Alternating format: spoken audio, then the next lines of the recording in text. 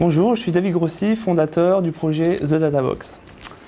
Vous êtes une petite entreprise et comme toutes les entreprises, vous avez besoin de logiciels informatiques pour euh, vous aider, vous assister dans votre euh, euh, organisation quotidienne. C'est une séance de pitch, expression à l'oral, à laquelle nous avons assisté. En face de David, un coach bien sûr et six autres dirigeants de start-up.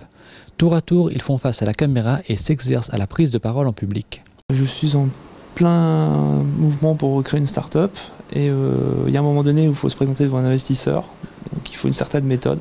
Donc ce cours est là pour ça, nous apprendre à communiquer tout simplement. On n'est pas né comme ça, donc euh, il faut s'entraîner, c'est dur.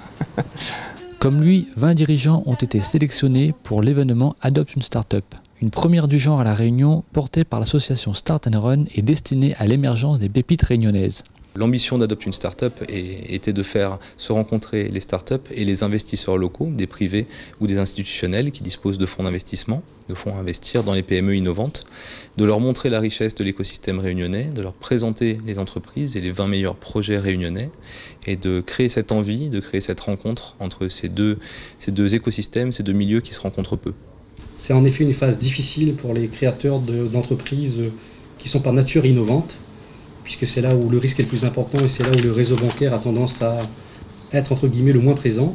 Donc euh, c'est une initiative que nous avons voulu accompagner. C'est de toute façon le rôle de l'agence d'accompagner tout projet qui aide les start ou toutes les entreprises à connaître un développement et à émerger.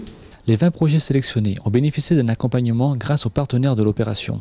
Des sessions de formation pour l'élaboration d'un business plan, des pitchs, de la communication et des aspects juridiques, des compétences indispensables dans la création d'une structure innovante. Nous, nous sommes persuadés que c'est un levier de développement économique nécessaire, indispensable, d'autant plus que la notion de start-up, elle touche tous les secteurs d'activité.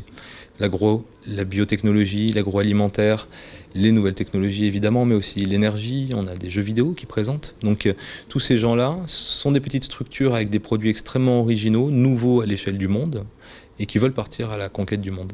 Et pour cela, il va falloir convaincre le 1er mars prochain. Ce soir-là, chacune d'entre elles présentera son projet devant une cinquantaine d'investisseurs privés et d'institutionnels. Trois minutes pour convaincre et donner une chance à ces projets ambitieux de voir le jour.